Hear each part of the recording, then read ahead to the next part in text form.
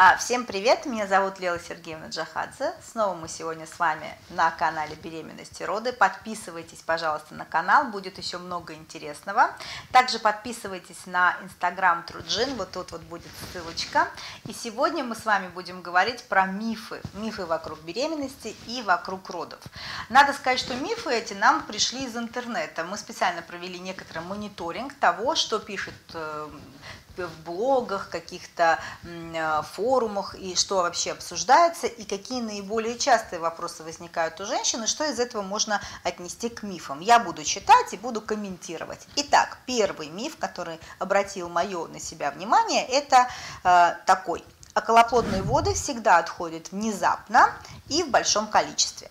Но надо сказать, то, что на самом деле мы сейчас будем говорить про доношенную беременность, околоплодную воду действительно могут отойти внезапно. Иногда женщина может спать, проснуться, а вокруг нее э, или под ней э, определенное количество жидкости, э, прозрачной, иногда розоватой, если есть примеси шеечных выделений, и это околоплодные воды. Иногда вы просто ходите, гуляете, и произошел такой характерный щелчок, иногда даже женщина его слышит, и полились околоплодные воды. Их достаточно много, обильно, они льются по ногам очень часто.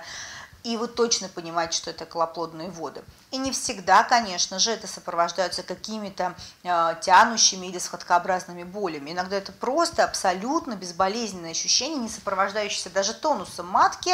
Вы просто понимаете, что воды излились, а дальше уже, в зависимости от ситуации, кстати, у нас есть видео на эту тему, как мы дальше ведем какая тактика при дородовом излитии вод в зависимости от разной клинической ситуации и какую тактику мы можем выбрать. Но далеко не всегда так бывает. Во-первых, э, есть ситуации, когда околоплодных вод не так уж и много, и тогда мы не можем ожидать, что будут изливаться воды прям в таком большом количестве. Это может быть достаточно умеренное количество жидких выделений, э, и может быть первая порция, она будет чуть больше, а дальше будут какие-то выделения, которые не всегда женщина может расценить, все-таки воды это или нет. Часто вы можете позвонить врачу и сказать, что вот у меня такие-то, такие-то симптомы, и доктор вам задает вопросы наводящие, и не всегда вы точно можете сформулировать, все-таки воды это или нет. На что здесь нужно обратить внимание? Понятно, что если вод не так много было изначально, то и вытечь они могут не в большом количестве, но если уж нарушилась целостность плодного пузыря, то подтекания будут продолжаться. То есть околоплодные воды будут по чуть-чуть подтекать. При изменении положения тела, если вы долго лежали и встали, либо если все-таки матка начала приходить в тонус, то при каждом сокращении тоже будут подтекать чуть-чуть жидкости. И это будет говорить в пользу того, что все-таки это не шеечные выделения, не какие-то влагалищные, а все-таки это клоплодные воды. Второй момент, на который нужно обратить внимание. Иногда бывает ситуация, когда плодный пузырь скрылся не по центру, и тогда много воды изливается, а это высокий боковой разрыв плодного пузыря. То есть где-то наверху образовалась дырочка, дефект, с которой вытекают воды, но они тоже будут подтекать не постоянно, тоже будут подтекать порциями и, возможно, не в очень большом количестве. Но, тем не менее, в доношенном сроке нарушение целостности плодного пузыря – это ситуация, которая требует э, обратить, э, того, чтобы вы обратились в родильный дом, и дальше, в общем-то, э, мы должны уже сориентироваться, как, когда когда уже э, начнутся роды, когда начнутся схватки, чтобы не получить инфекционное осложнение.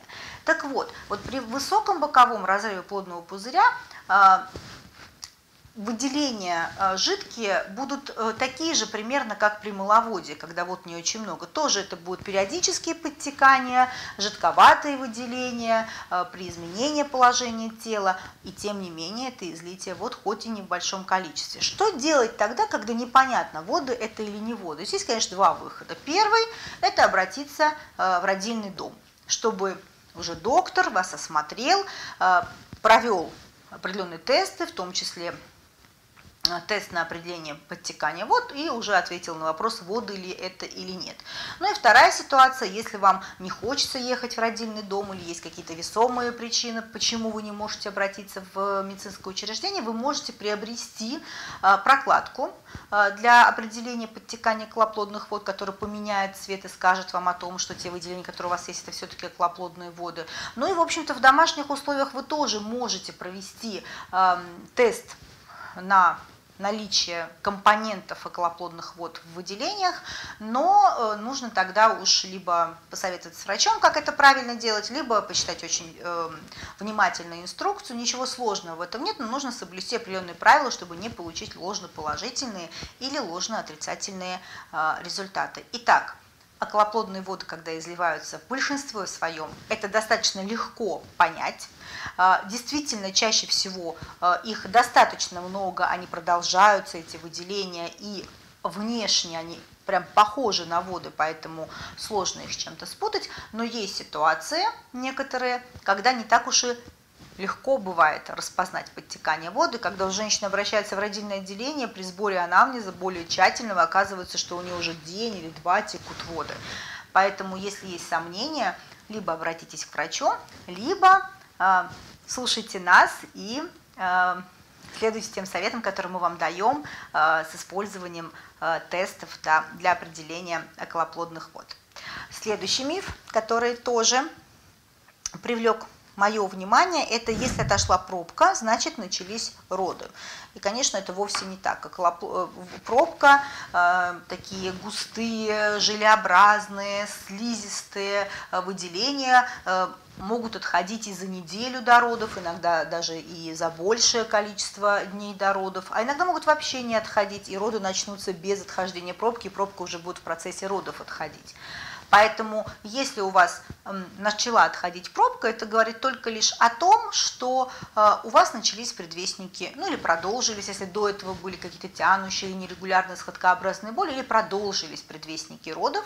Это вовсе не повод обращаться к врачу или не повод ехать в родильный дом, это повод просто лишний раз подтвердить, что срок у вас доношенный, а, и вы мы надеемся, что вскоре вступите в роды. Пробка может быть э, с прожилками крови, э, такого бордового, бурого цвета, э, достаточно густой, иногда жидковатый, но не жидкой, как воды, а такая вот слизисто-жидкой. Это все варианты разной пробки. Кстати, есть еще один миф, который говорит о том, что если отошла пробка или начала отходить, то больше жить половой жизнью нельзя. Это тоже вовсе не так. Во время предвестников родов, а отхождение пробки это просто один из компонентов предвестников родов. Вы можете продолжить жить половой жизнью, э, если нет каких-то особых указаний врача, которые вам это запрещают. Дальше, какой у нас следующий миф? Э, во время родов всегда испытываешь сильную боль, которую невозможно терпеть. У нас есть э, отдельная передача про ощущения интенсивные во время родов, э, про э, немедикаментозное обезболивание и медикаментозное, кстати, обезболивание в родах и вообще, э, что это такое, но вкратко сегодня, сейчас хочу сказать, что, конечно, нужно понимать, что роды – это всегда интенсивное ощущение. Сначала они определенной интенсивности, возможно, не такой сильной, потом они нарастают, эта интенсивность нарастает, частота схваток нарастает, длительность их нарастает, и это нужно понимать. Не стоит ждать того, что если вдруг вы где-то занимались, в каких-то курсах вас научили дышать, то вы э, правильно выполняете техники дыхания, вдруг вообще избежите любых э, ощущений, э, будете себя чувствовать очень-очень расслабленно, поспите, проснетесь, а у вас на руках ребенок. Конечно, такого не будет и, наверное, не должно быть. Если мы сейчас не говорим про пятые роды, когда очень уж быстро это все происходит, и женщина, в общем, максимально к этому подготовлена. А, если это первые, даже вторые роды, да и третьи роды, это интенсивное ощущение, это понятно.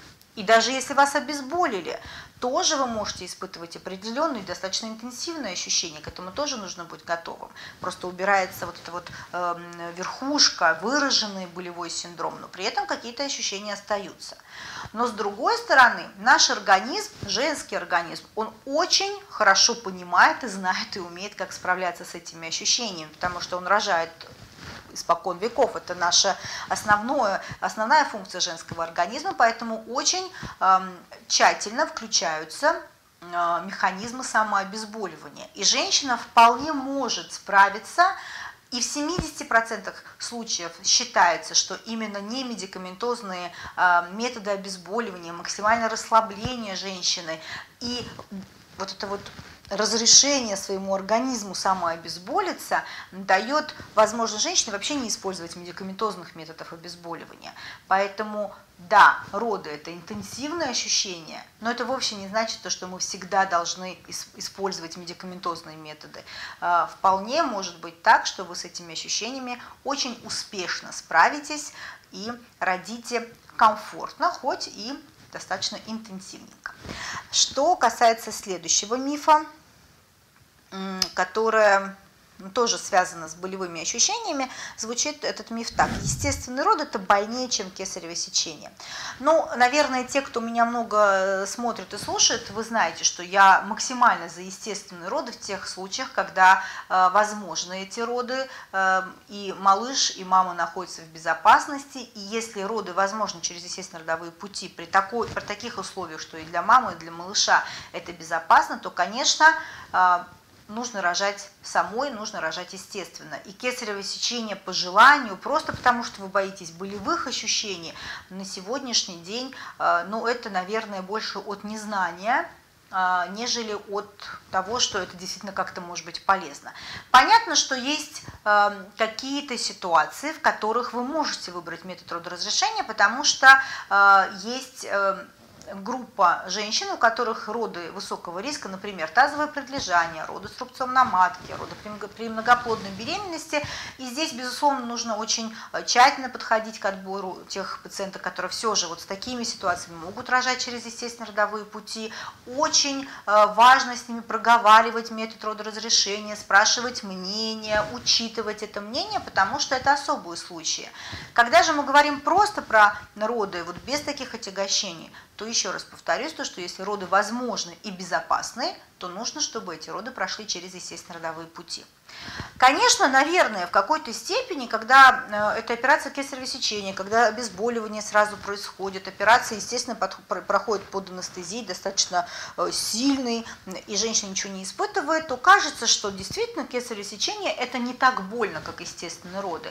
Но все почему-то забывают то, что есть послеродовый период, э, и после кесарево сечения, конечно, восстанавливаться намного сложнее. Я сейчас не говорю о том, что кесарево сечение такая жуткая операция, что потом очень долго все восстанавливаются, что это вот прям какая-то чуть ли не, я не знаю, какой-то бич, и вот там месяцами женщины лежат. Конечно, нет, мы научились сейчас оперировать, э, восстанавливать этих женщин, они достаточно активны в очень близкое время от, после операции, э, они, они ухаживают за детьми, но тем не менее это восстановление после полостной операции, которая не так уж и просто дается. После естественных родов женщина, как правило, очень быстро приходит в себя, и, в общем-то, после послеродовом-то периоде она вполне осознает э, плюсы родов через естественные родовые пути. Ну и потом кесарево сечение – это полостная операция со всеми вытекающими отсюда, осложнениями, э, и связанными с оперативным э, вмешательством, и связанными с э, с анестезиологическими пособиями. Это, конечно, не идеальный вариант рождения для малыша, это, конечно, отдаленные возможные последствия для мамы, э, и в том числе осложнения для следующей беременности, для следующих, последующих родов. Поэтому здесь всегда нужно взвешивать все аспекты, все за и против, и оперировать безосновательно. Э, это, конечно, э, и небезопасно, и самое главное, абсолютно неоправданно ни по каким аспектам. И здесь плюсов найти очень-очень мало, возможно, да, если вы даже сторонник оперативных родов, всегда взвешиваете все за и против. А, следующий миф. Если роды затянулись, надо стимулировать. А, вот это написано в мифах в интернете, я поэтому и читаю это как миф, но э, здесь, наверное, все-таки это больше похоже на правду, нежели на миф. С одной стороны, действительно, если мы видим слабость родовой деятельности, первичную или вторичную, а, то, конечно, если нет противопоказаний, и мама, и малыш себя чувствуют хорошо, а, хороший, хорошее состояние ребенка по данным КТГ, то мы должны предлагать, и нет противопоказаний каких-то, мы должны предлагать стимуляцию, родостимуляцию путем введения окситоцина. И это абсолютно не миф, это абсолютно правда. Это дает возможность женщине родить через естественные родовые пути в той ситуации, когда у нас роды затянулись и развилась настоящая слабость. С другой стороны, очень важно, чтобы диагноз слабости был выставлен правильно. Это не то, что вы просто рожаете чуть медленнее, чем вам бы хотелось или хотелось бы врачу. Это совершенно четкие критерии, когда мы выставляем слабость. Если этот диагноз правильно выставлен, то да, стимуляция здесь оправдана под определенными под наблюдением, э, с определенными правилами, э, с объяснением женщине, зачем это делается, и как мы это делаем, и какие есть риски и так далее, и, для чего мы это делаем, что все-таки мы хотим дать шанс народу через естественно родовые пути. Но диагноз должен быть выставлен действительно правильно и с соблюдением временных рамок. Причем для э, диагноза первичная слабость это э, одни критерии, для вторичной слабости другие критерии. А, и здесь действительно очень важно, чтобы мы с вами не поторопились, чтобы мы не поставили диагноз слабости там, где этой слабости нет, а просто есть какие-то индивидуальные темпы родов для этой женщины. Вот в таких ситуациях лучше дать шанс женщине все-таки рожать в том, возможно, чуть замедленном темпе, но ее темпе, который все-таки позволяет э, проводить роды через естественно-родовые пути без стимуляции, нежели мы будем проводить вот такую вот э, стимуляцию несколько преждевременную. Поэтому, если все-таки есть слабость, то, конечно, стимуляция нужна с соблюдением всех правил ее проведения и оценки плода. Если же это э, все-таки еще не слабость, а какой-то вот индивидуальный, скажем так, темп для женщины, то лучше подождать и убедиться, что формируется слабость, и только после этого проводить родостимуляцию. Это будет безопаснее, прежде всего, для э, ребенка. Э, следующий миф, который звучит как миф, это эпидуральная анестезия увеличивает вероятность кесарево сечения. Здесь тоже нужно, как бы, наверное, разделить да, некоторые моменты.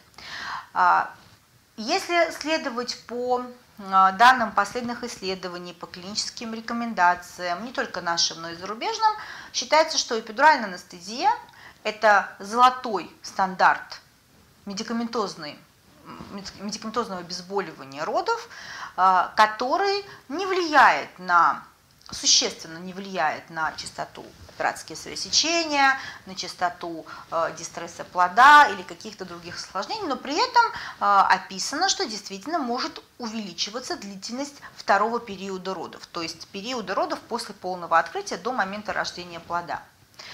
А, в реальности же мы, конечно, наверное, в какой-то степени видим, что вот это затягивание второго периода, а, с одной стороны, Э, как-то вот этот вот затянувшийся второй период больше и больше начинает э, как-то вот нервировать, что ли, врача, ему хочется несколько убыстрить этот период, не хватает в какой-то степени терпения, в какой-то степени кажется, что уже формируется слабость, и это увеличивает э, вероятность того, что будет проведена родостимуляция, и сама по себе потом родостимуляция может увеличить риски того, что будет дистресс плода и будет операция кесарево сечения. С другой стороны, вот это затянувшийся второй период родов действительно может перейти в слабость. А, если мы не проводим стимуляцию, или она невозможна, или она неэффективна, это тоже может увеличить а, риски того, что эти роды в итоге закончатся путем операции кесарево сечения или, например, путем а, наложения да, вакуум экстрактора, и вот тоже будут оперативные роды, только влагалищные. Поэтому, с одной стороны, действительно, Э, можно говорить о том, что при определенных ситуациях, может быть, не в большом проценте случаев, но э, не сама по себе эпидуральная анестезия, а то, что вызывается этой эпидуральной анестезией, несколько затягивания родов, и потом это может перейти все плавно в э, слабость родовой деятельности или в стимуляцию, которая последующим вызовет дистресс плода измерения характера сердечной деятельности и изменения на КТГ, вот это, конечно, опосредованно может увеличивать э, в какой-то степени э, частоту кесарево сечения. Ну и, наверное, в какой-то степени может повлиять э, эпидуральная анестезия, ну, например, на состояние матери, снизить давление и опосредованно через маму вызвать изменения сердечной деятельности у плода, что тоже, в общем-то, будет служить показанием к операции кесарево сечения. В какой-то степени, да, это правильное утверждение, но все-таки это очень маленький процент. И еще раз повторюсь, то, что эпидуральная анестезия – самый безопасный метод медикаментозного обезболивания. который э, требуется примерно в 20-30% случаях, а во всех остальных случаях роды могут быть проведены без медикаментозного обезболивания вполне успешно. И когда она требуется, то, в общем-то, наверное, ее нужно выбрать. Э, и в большинстве своем это не приведет к каким-то осложнениям, и тотального увеличения частоты кесарево сечения тоже мы наблюдать не можем. В какой-то степени да, но не существенно. А повторные роды проходят легче, чем первые. Ну, конечно, тоже не знаю, почему это отнесено в разряд мифов, потому что в большинстве своем вторые роды действительно проходят э, легче, быстрее э, и проще, чем первые в большинстве своем. Конечно, мы не можем говорить про все роды, разные бывают, иногда бывают повторные роды даже тяжелее, чем первые, но все-таки большинство из них действительно легче. С третьими родами э, сложнее. Третьи роды иногда бывают намного непредсказуемее и даже дольше, и как-то неоднозначнее, чем первые. Вот почему-то есть у них такая особенность. Но вторые роды действительно легче. Легче, потому что быстрее открывается шейка, легче, потому что одновременно с раскрытием уже шейки матки начинает опускаться головка, падая, если это головное предлежания, а, а при первых родах сначала происходит полное открытие, и только потом продвигается голова. То есть многие моменты, которые говорят о том, что это будет и быстрее, и легче, и проще для женщины, поэтому, наверное, это все-таки больше правда, чем миф. На этом на сегодня с мифами, наверное, закончим. Их на самом деле очень много, и может быть мы даже сделаем постоянную рубрику э, про мифы во время беременности и родов. Э, так что слушайте нас, читайте, будет много-много интересного. Подписывайтесь на канал, подписывайтесь на Труджин и до новых встреч!